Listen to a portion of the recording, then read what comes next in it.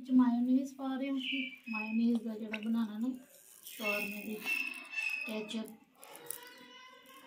Mayonnaise ਇਹ ਦੋ ਚਮਚ ਮਾਇਓਨੀਜ਼ ਦੇ ਥੋਮ ਦਾ ਪੇਸਟ ਵੀ ਪਾਉਣਾ ਸਿਰਕਾ ਇੱਕ ਚਮਚ ਕੈਚਅਪ ਥੋਮ ਦਾ ਪੇਸਟ ਕੈਚਅਪ ਦੇ 3 ਚਮਚ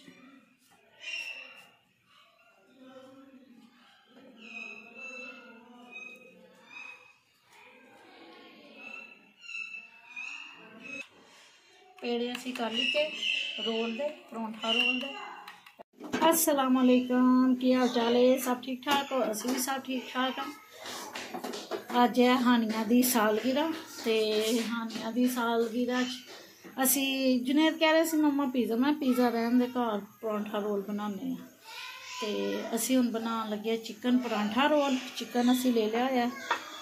ਅੱਧਾ ਕਿਲੋ ਸਾਡੇ ਕੋਲ ਚਿਕਨ ਹੈ। ਨਾਲ ਅਸੀਂ ਦਹੀਂ ਲੈ ਲਿੱਤੀ ਹੋਈ ਹੈ। ਦਹੀਂ ਵੀ ਸਾਡੇ ਕੋਲ ਅੱਧਾ ਕਿਲੋ।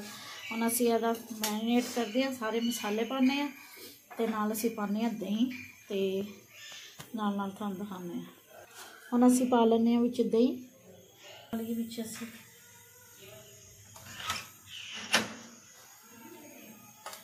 ਹੁਣ ਅਸੀਂ ਇਹਦੇ ਵਿੱਚ ਪਾਵਾਂਗੇ ਮਸਾਲੇ।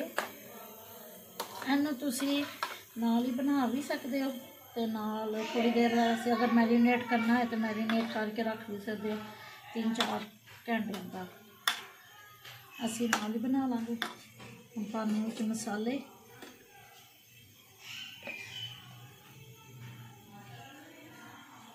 ਲਾਲ ਮਿਰਚ ਥੋੜਾ ਕਰਾਰਾ ਹੀ ਬਣਾਵਾਂਗੇ ਤਾਂ ਫਿਰ ਹੀ ਜ਼ਿਆਦਾ ਮਜ਼ੇ ਦਾ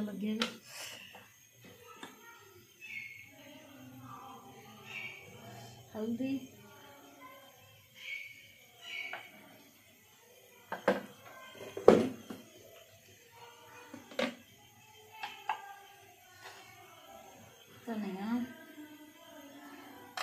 तो धनिया से नमक।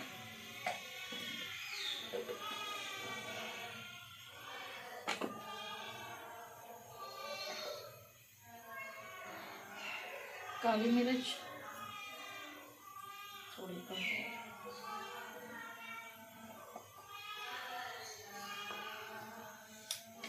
गरम मसाला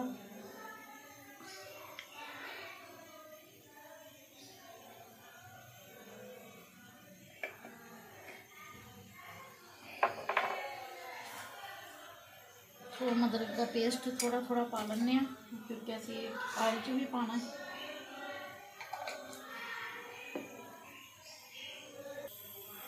थोम अदरक का पेस्ट पा लें ਅਸੀਂ ਅਦਰਕ ਐਥੋਂ ਉਹਨਾਂ ਦਾ ਪੇਸਟ ਪਾ ਕੇ ਇਹਨਾਂ ਨੂੰ ਕਰਦੇ ਹਾਂ ਅਸੀਂ ਅੱਛੀ ਤਰ੍ਹਾਂ ਮਿਕਸ ਥੋੜਾ ਕਰ ਪਾ ਲਾਂਗੇ ਅਸੀਂ ਸਿਰਕਾ।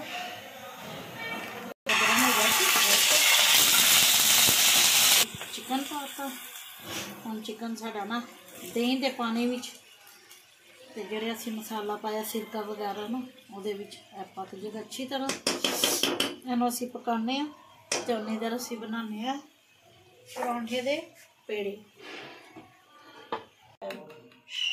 ਹੁਣ ਅਸੀਂ ਇਹਨਾਂ ਨੂੰ ਇੱਕ ਵਾਰੀ ਵਾਰੀ ਕਰਕੇ ਤੇ ਬਣਾਉਂਦੇ ਆ ਪਕਾਉਂਦੇ ਆ ਤੇ ਨਾਲ ਬਣਾ ਕੇ ਖਾਂਦੇ ਸਾਨੂੰ ਇੱਕ ਪਰੌਂਠਾ ਰੋਲ। ਹੁਣ ਵਿੱਚ ਪਾਵਾਂਗੇ ਅਸੀਂ ਦਹੀਂ ਦੇ ਦੋ ਚਮਚ, ਇਹਨੂੰ ਅੱਛੀ ਤਰ੍ਹਾਂ ਮਿਕਸ ਕਰਦੇ ਆ ਤੇ ਨਾਲ ਪਾਉਂਦੇ ਆ ਅਸੀਂ ਇਹਦੇ ਵਿੱਚ ਲਾਲ ਮਿਰਚ। ਥੋੜੀ ਕਰ ਅਸੀਂ ਪਾਈ ਹੈ, ਲਾਲ ਮਿਰਚ ਪੀਸੀ ਹੋਈ ਤੇ ਹੁਣ ਅਸੀਂ ਥੋੜੀ ਕਰ ਪਾਵਾਂਗੇ ਕੁੱਟੀ ਹੋਈ ਮਿਰਚ। ਕੁੱਟੀ ਹੋਈ ਥੋੜੀ ਕਰ ਅਸੀਂ ਲਾਲ ਮਿਰਚ ਪਾ ਦਿੱਤੀ ਹੋਈ ਹੈ ਤੇ ਹੁਣ ਅਸੀਂ ਇਹਨੂੰ ਅੱਛੀ ਤਰ੍ਹਾਂ ਕਰਦੇ ਹਾਂ ਮਿਕਸ ਅਸੀਂ ਬਣਾਉਣ ਲੱਗੇ ਹਾਂ ਹੁਣ ਰੋਲ। ਸੋਸ ਜਿਹੜਾ ਅਸੀਂ ਬਣਾਇਆ ਸੀ, ਉਹ ਲਗਾ ਦਿੰਦੇ ਹਾਂ ਅਸੀਂ ਅੱਛੀ ਤਰ੍ਹਾਂ ਰੋਟੀ ਨੂੰ।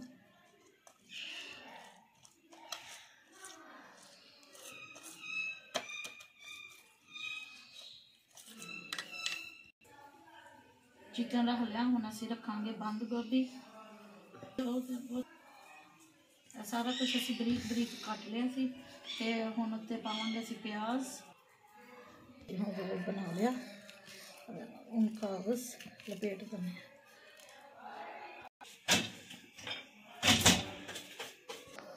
ऐसे ही साड़ी अज की वीडियो, अगर थोड़ा पसंद आए लाइक कर दियो शेयर कर दिए सबसक्राइब करियो। दुआव याद रखियो अभी भी दुआव याद रखा अल्लाह ने गहबान थोड़ा भी तो साढ़ा